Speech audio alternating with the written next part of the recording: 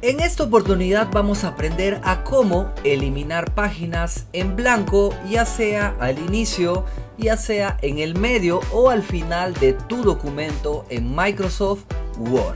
Estas páginas normalmente no se quieren eliminar utilizando las teclas comunes como suprimir y la tecla eh, o la flecha a la izquierda para borrar los textos, ¿no? Eso es lo que vamos a hacer el día de hoy, eliminar estas páginas eh, que nos causan mucha molestia. Pero antes, yo soy Miguel Vela, el Tío Tech, y si este video te sirve o si alguno de nuestros videos te ha servido en algún momento, por favor suscríbete a nuestro canal dando un clic donde dice suscribirme y activa la campanita, te lo vamos a estar agradeciendo muchísimo. Bien, ahora sí vamos a comenzar, miren, eh, para que vean o para que tengan este tipo de vista en Microsoft Word, vamos a ir primero a la pestaña vista acá pestaña vista y seguramente de ustedes va a estar así no miren una sola hoja. Si quieren ver varias hojas acá un clic donde dice varias páginas.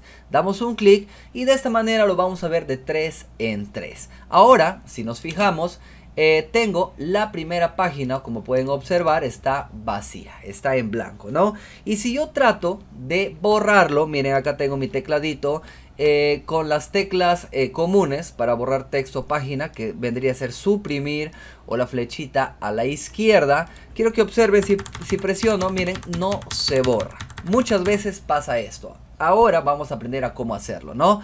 Miren, luego tengo acá más o menos por el medio más páginas en blanco y seguramente al final, miren acá hay otra página, al final tengo una más. Bien, lo que vamos a hacer es sencillísimo para eliminar estas páginas, miren, lo primero que hacemos es ir acá, pestaña inicio.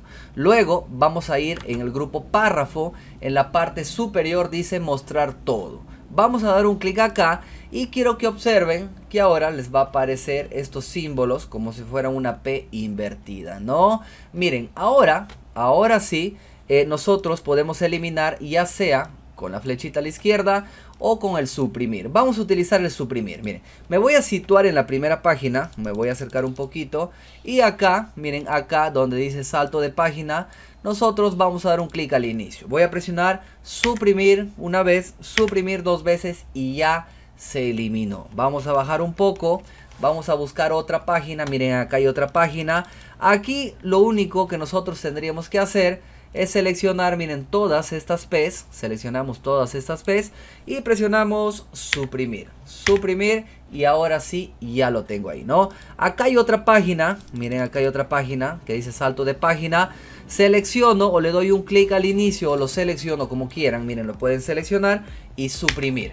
Y de esta manera ya lo tenemos en la parte superior, ¿no? Vamos a ir a la última página. Miren, vamos a ir a la última página, acá lo tengo.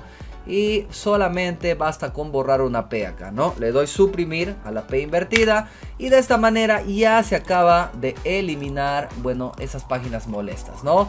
Vamos a seguir buscando si hay más páginas. Acá tengo una más. Miren, voy a acercar un poquito más y dice salto de página, ¿no? Lo mismo, selecciono todo, suprimir y ahora sí, creo que ya no tengo, miren, ya no tengo ninguna página en blanco, ¿no? Acá hay una más, selecciono todo, suprimir, vamos a subir un poco, a ver, creo que ya quedó. Bien, lo único que teníamos que hacer es ir a la pestaña inicio y activar esta P invertida, ¿no? Una vez que ya eliminamos, vamos a desactivarlo para que ese símbolo desaparezca y el ojo esté en blanco. Bien, ya me voy a quedar hasta acá. Si tienes alguna duda, alguna pregunta, comenta este vídeo para yo responderte y así ayudarte.